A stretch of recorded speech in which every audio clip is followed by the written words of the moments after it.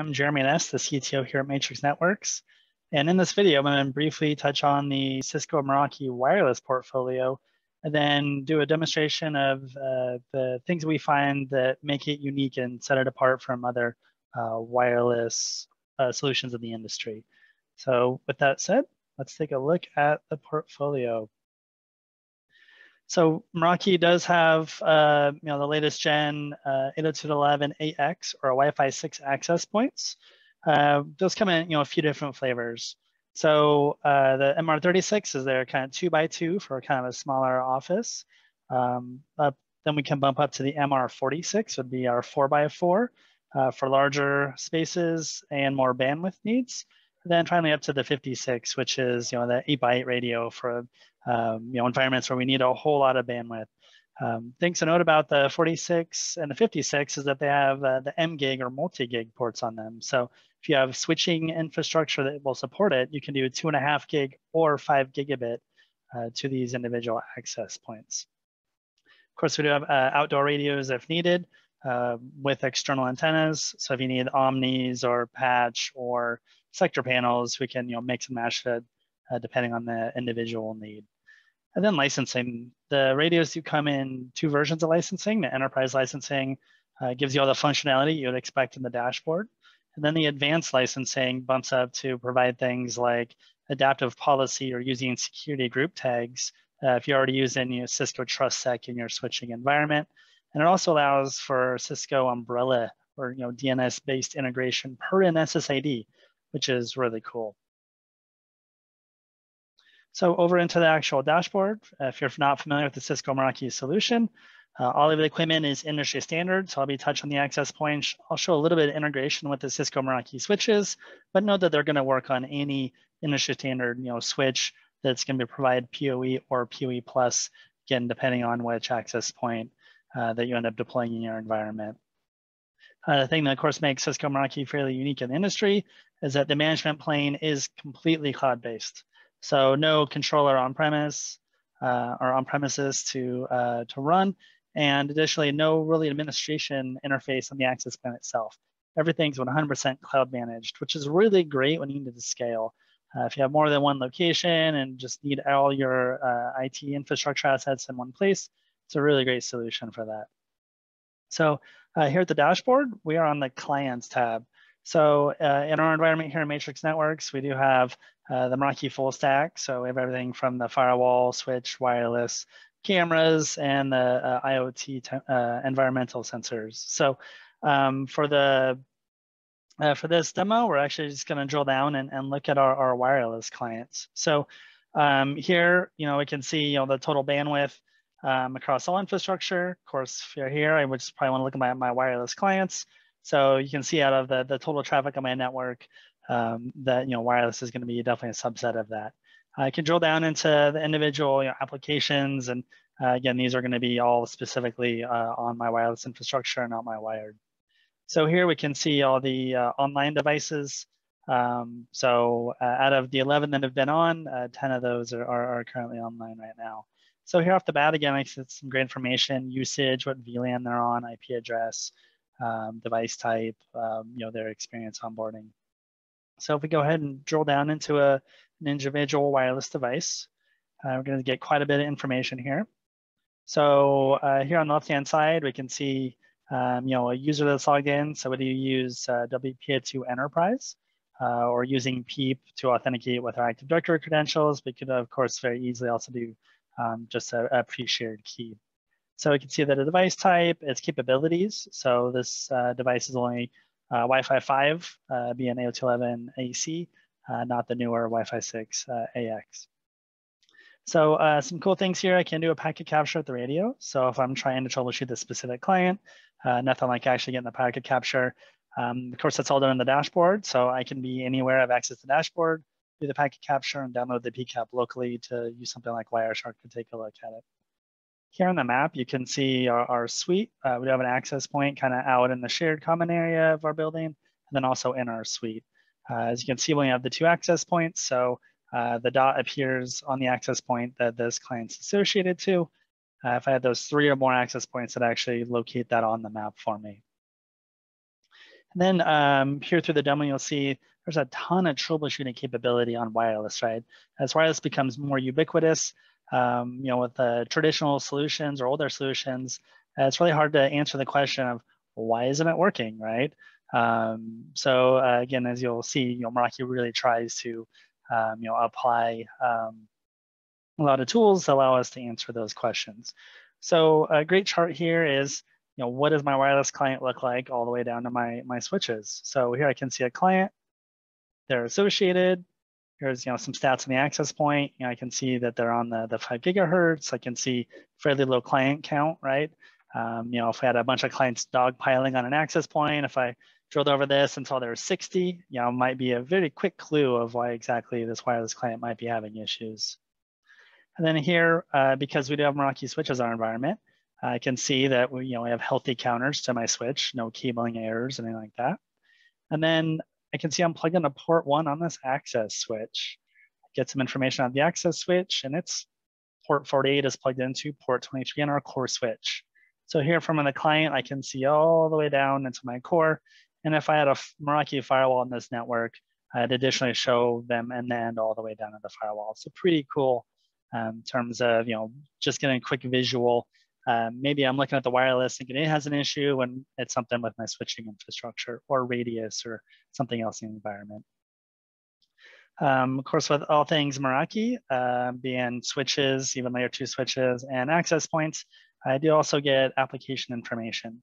So from here, I can kind of see the, the, the top uh, applications being on used on this device over the last uh, day period of time can also see what policies, if I have any bandwidth shaping or additional firewall rules uh, assigned, and of course addressing information for this client. Um, I love this uh, connections tab. Again, another kind of tool in the toolbox for troubleshooting, right? Uh, when someone comes to me, uh, you know, my previous life as a previous life as a system administrator, you know, hey, the wireless is slow or it's not working or it's down. I often found, you know, chasing my tail, right? I'd start with the wireless, controller and maybe look at my switching or routing infrastructure and maybe end up on DNS or Radius or uh, the firewall or somewhere else in my network, right? Where I just you know spent a whole lot of time um, looking at a spot that didn't have the issue, right? So this connections tries and solve some of those, right? Can they not associate, right? Uh, too many clients in the air, too much noise in the air, right? Authentication, right? Maybe again your Radius server is down, or they're just typing in the wrong, you know, pre-share key. Um, DHCP. Can't tell you how many times I've ran into, you know, DHCP scope is full, right? You might have a large event and um, then it kind of becomes a ticking time bomb. You might have all these clients that have a one day or seven day lease uh, to where the next day, all of a sudden, you know, some clients are working and some are doing it, you know, not enough uh, leases. So um, again, if the scope is full, it'll be real obvious here. Hey, my scope's full. Um, you know, I don't have enough IP addresses to give out. DNS, right? Maybe they made it all the way this point, but they just can't resolve hosting's IP addresses. Again, they're going to come to you know you as administrator or help desk or whatever your role may be and say, hey, the, the wireless is down. No, not down. Uh, again, you're chasing your tail over here to where uh, really it's a potential DNS resolution. But then just not passing traffic, right? This might be a VLAN mismatch upstream or a firewall uh, rule to where I'm sending all these SYN packets, but I'm not getting SYN-ACKs back, right? Uh, that TCP kind of handshake. So um, again, really tries to zero down very quickly in this chart um, where the problem may lie. This um, chart is you know, per a client, so this individual client device, but it's very easy to come in and check wireless health uh, for all my access points or specific SSIDs or um, you know, more a big picture view opposed to just a specific client. Then the performance tab, right? Um, so many of us are um, always used to, oh, hey, how many bars do I have, right? But that's only just a little bit of the story. So here for the last day, I guess I can see on this client, again, another way to kind of look at um, the applications, and I can look at that in a few different ways, right? Uh, they mostly upload, mostly download, which might give me um, get more information where any issues might lie. Uh, quality over time. I, I love this one. Again, as administrator, can't tell you how many times that I'd have someone come to me, hey, I was at this branch location last week at two o'clock in the, you know, this room and, and wireless wasn't working. Well, not helpful, right? Um, oftentimes in most solutions, that information is gone already uh, to where I can't act on it. Um, to where here I can go back quite a long time or, or look at you know uh, specific date ranges. Uh, and as the client is moving around the environment, I can kind of see, you know, what their signal quality was. Uh, but again, signal quality is just a piece of the puzzle, right? What's their latency? Uh, again, if you have a ton of clients on a single access point, they can have great signal because they're close to it, but don't have enough, you know, radio or airtime to give them a good, you know, chunk of time to talk.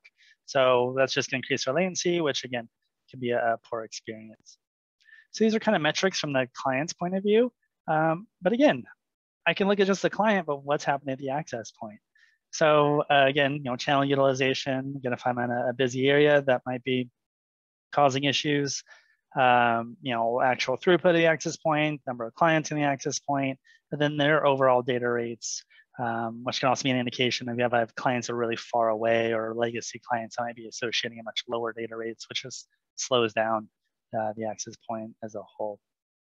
Then timeline.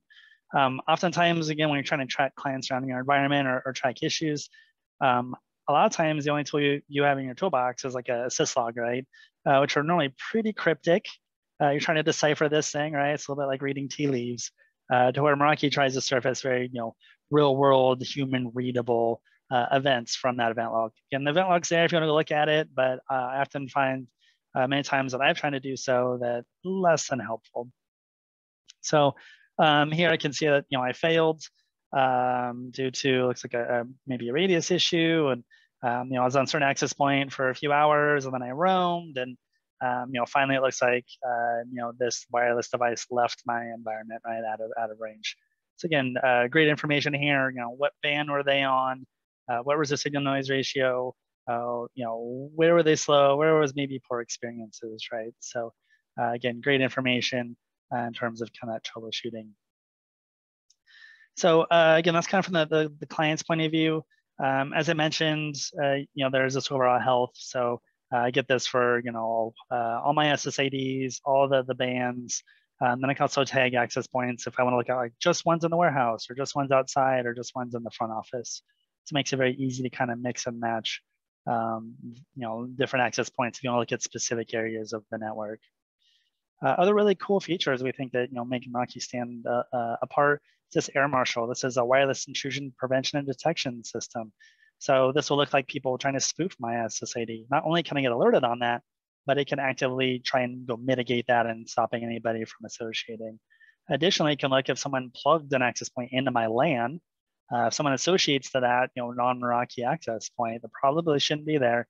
I can get alert on that and block and contain that. Um, so that's all built into the background scanning radio. Um, it's the same radio that's used for auto channel and auto power, but again, it's also doing all the security function for us. Um, SSIDs, uh, the only thing I, you know, is fairly unique here uh, that I like to look at is, um, you know, we have the different access methods. Uh, one of the great ones is identity-based pre-share key. So I can have multiple pre-shared keys for a single SSID. And I can put those clients on different VLANs or give them different traffic shaping or different firewall rules, right? So oftentimes you see a whole plethora of SSIDs in an environment to try and um, you know add those characteristics in as traditionally I have to do it for the whole SSID. This one I can actually have pre-shared keys um, to do it. The other great thing is that you know if someone needs temporary access, I give them a temporary key, then they go remove it, essentially revoking their access, but maintaining other people's access on the SSID. That's in contrast having a whole pre-share key for my single SSID. Uh, we also have some great splash page options, right? If you want the disclaimer page or click-through page. Also some uh, kind of unique options, right? Sponsored logon. So they have to have a valid email address for someone in my organization that's effectively their sponsor.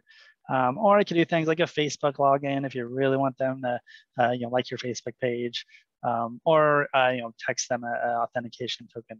So you know, a, a lot of options around um, you know, authorization and then uh, kind of that splash page option. Um, a really cool thing about uh, the Meraki solution is oftentimes the access points are just kind of dumb, right? Uh, or I shouldn't say dumb, but their whole purpose in life is to get them from the wireless to the wired, all right, without a whole bunch of uh, logic. To where Meraki, um, I do get you know layer three firewall rules, right? So this SSID shouldn't access this server or this subnet or this location, but this SSID can. Um, also some layer seven rules, right? So I can do some kind of basic, um, you know, blocking categories or blocking specific, you know, host names or ports. Um, I did mention that advanced subscription gives you DNS layer protection. So uh, again, if you don't want to trunk this thing all the way up to your UTM and commingle traffic, I often see maybe a dedicated internet connection for for guests or or whatever that looks like your environment. Um, you know, security is, is often an afterthought to uh, things like guests. Um, we do also have a Cisco umbrella on our LAN, but we do handle that, you know, via traditional DNS and not through uh, the PERN SSID. Uh, but again, it's a great way, especially if you're kind of guest wireless or BYOD or whatever it may be, for an extra layer of monitoring, logging, and then again security. Um, just because they're you know, on the guest network doesn't mean I want them still abusing my network and maybe spewing out you know DDoS or being part of a botnet. So again, very cool being able to do that just per SSID. You're not worrying about hey, sent my DNS server and um, trying to differentiate you know which uh, wireless networks uh, you know these queries are coming from. And then traffic shaping, right? Um, often hear like, oh, hey, you know, we want to block uh, Netflix because we don't want to, um, you know, have that bandwidth taken. Or hey, you know, uh, I'm having a problem prioritizing VoIP or, or whatever it might be. So Meraki makes this very simple. Um, I can apply some default rules, which do take care of that kind of VoIP, right? The, the SIP or um, my WebEx or, or Skype or voice and video. Um, but that's very easy to come in and, you know, prioritize or deprioritize, right? Maybe yes, I do want Netflix, but I want to cap it or I want it to be a lower priority. So um, having the controls per SSID, I think is really powerful in the Meraki solution. Uh, lastly, I'll kind of look at, um, which is pretty cool, is this location analytics, right? Uh, our retail clients uh, or hospitality or anything where um, you'll want to count who's actually using my network, right? I, I, invested in it. How do I know, you know, who's using it, how long they're using it, how often they're coming back? So that's where location analytics comes in. Um, all of our you know, wireless devices are always beaconing in our pocket all the time. Um, and Meraki can see that again with that background scanning radio. So um, I can see, you know, passerbys. There's going to be people that did not associate my network, and I only saw for a few minutes without a very strong signal. A visitor pe people that I saw, um, you know, with a very strong signal that stayed for over five minutes, and then of course people that connected. Right, I already see them in the clients page, um, and then um, beyond just that, over time, you can see engagement, right? How long were they in my facility, um, right? And then loyalty, how often did they come back? How often did I see these people coming back into our environment? Of course, here at Matrix Networks, we love our jobs and we do come back every day, giving us a very exceptional 97% uh, engagement.